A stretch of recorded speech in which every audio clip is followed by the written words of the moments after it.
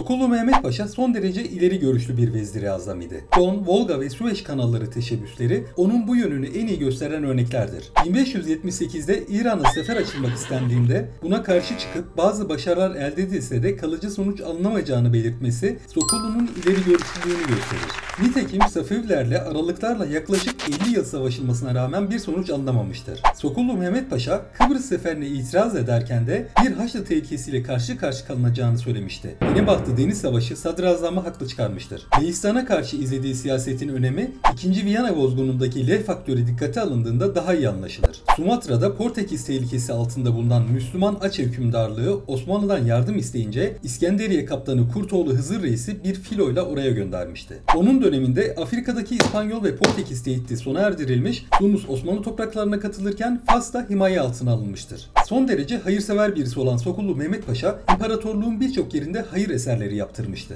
Kadırga'daki külliyesi, Azapkapı, Lüleburgaz, Beşkerek camileri, Saraybosna'daki kervansarayı, Vişegrad ve Beşkerek'teki köprüleri bunların belli başlılarıdır. Sokullu, imparatorluğun menfaatleri neredeyse ona göre davranmış, gerektiğinde barışı, gerektiğinde de savaşı öne çıkarmıştır. Kanuni, 2. Selim ve 3. Murat döneminde yaklaşık 14 yılı büyük bir kudretle vezir azamlık yapması ve bu dönemde izlediği siyaset sayesinde Osmanlı İmparatorluğu'nun gücünün parlaklığından dolayı bazı tarihçiler yükseliş devrini Sokullu'nun ölüm tarihi olan 1579 ile bitirirler.